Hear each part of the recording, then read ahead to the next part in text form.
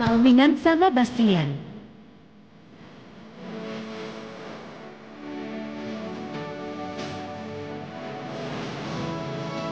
Bastian lagi ngantri pancong. Udah habis mulut ini Kejadian selama banget Memangnya aku boneka Setiap ketemu kau cubit-cubitku Namanya Bastian. Ia bukan sembarang beduk.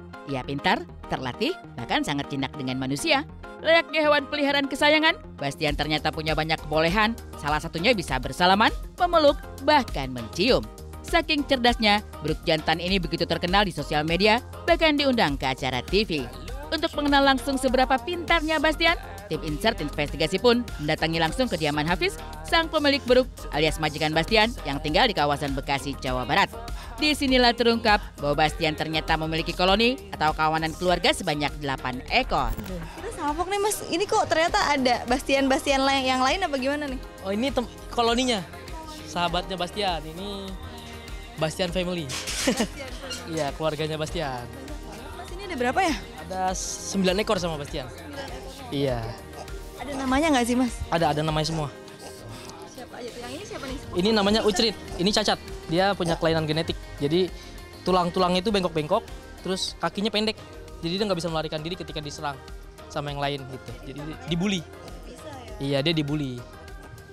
Siapa nih? Ini namanya Marco. Marco, hai Marco. No, nggak boleh gigit-gigit.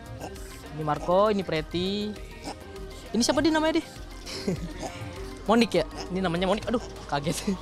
itu Mona. Nah, yang itu Joni. Yang ini Ireng. nah, yang ini Rani. Ini semua hasil rescue. Ini sahabat sejati saya ini. Bastian, sini. Sini. Eh, sini. Itu dia tuh. Dia mah kalau nggak dipanggil nggak akan datang dia. Sini. Ini sayang. Sit down, sit down, sit. Bastian sit down. No, sit down, stay. Nah, Bastian tuh bisa begini loh pemirsa. Hey, Bastian. Shake hand. Nih, shake hand. Good boy. High five.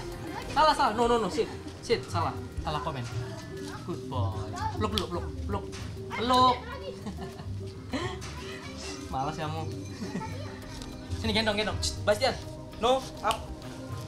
Nah, ini dia guys. Bastian. Awalnya sih iseng-iseng doang kan, cuma kayak buat dokumentasi karena seneng gini punya eh, apresiasi diri lah sebenarnya. Karena bisa punya beruk besar yang jinak gitu kayak kebanggaan tersendiri kan istilahnya nggak semua orang bisa gitu punya beruk besar yang jinak gitu.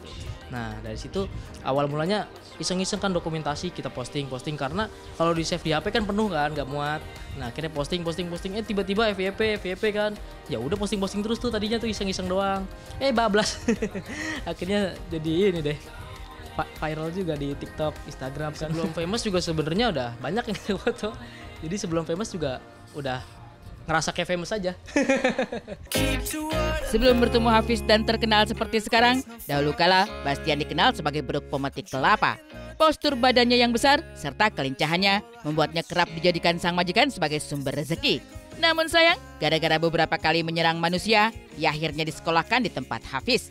Pertemuan pertama mereka inilah yang menjadi cikal bakal persahabatan mereka terurai hingga sekarang. Bastian ini sebelumnya adalah eh, beruk pekerja pemetik kelapa. Nah, di sana mungkin dia karena ngelawan mulu ya, akhirnya dijual. Dijual sama teman saya, di- dibawa ke Jakarta kan. Nah, di Jakarta saya ngekip nih di sini. Nah, setelah setelah dua hari kalau nggak salah dua hari Bastian itu dikirim lagi tuh ke daerah Jawa Timur kan. Nah, di Jawa Timur itu nyerang lagi sama ownernya. Ternyata setelah dijinakin dia masih ngelawan gitu. Nah, akhirnya dibalikin lagi ke sini. Nah, dari situ mulai eh, kesel juga tuh tadinya tuh. Akhirnya dipinterin tuh dia saya pinterin. Udah pinter lama-lama sayang. Pas gitu. Akhirnya ya udah saya yang bayar udah saya beli gitu karena awalnya udah sayang karena juga di sisi lain mikir kasihan juga kalau misalkan pindah owner terus dia ngelawan lagi pasti kan mengalami kekerasan lagi nanti. Oh, ini kan paling diajarin seperti manusia aja sebenarnya ya. Yang yang paling utama sih nggak galak sama semua orang gitu. Jadi dia bisa merasa nyaman sama seseorang walaupun dia punya trauma yang cukup besar ya. Jadi dia walaupun ada orang di sekitar dia dia nggak nyerang gitu, nggak protek. Nah sama diajarin salaman gitu. Jadi biar lebih apa namanya bisa berinteraksi sama orang lain gitu bisa ber- berinteraksi sama orang asing second. Sejatinya, Bruk merupakan jenis makaka yang tersebar di wilayah Thailand bagian selatan, Malaysia, dan Indonesia. Mereka merupakan satwa terestrial, namun juga pemanjat pohon terbaik. Tak heran, di Sumatera, hewan memang dipelihara untuk membantu manusia memetik kelapa. Namun pada kenyataannya, tak semua beduk diperhatikan selayaknya. Hal inilah yang memicu beduk lepas kendali hingga menimbulkan trauma. Trauma ini juga yang dialami Bastian. Untung saja, di tangan Hafiz, perlahan rasa trauma yang dialami Bastian perlahan sirna.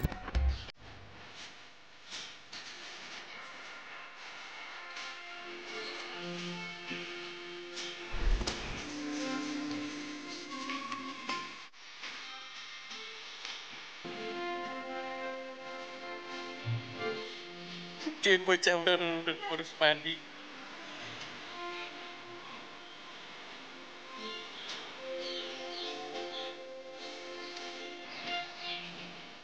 Kalau mandi paling sehari sekali aja kalau yang lain. Tapi kalau untuk yang di dalam misalkan saya lagi bawa yang lain juga nih ke dalam itu ya mandi bisa dua kali tiga kali. Di pempas kalau yang ini.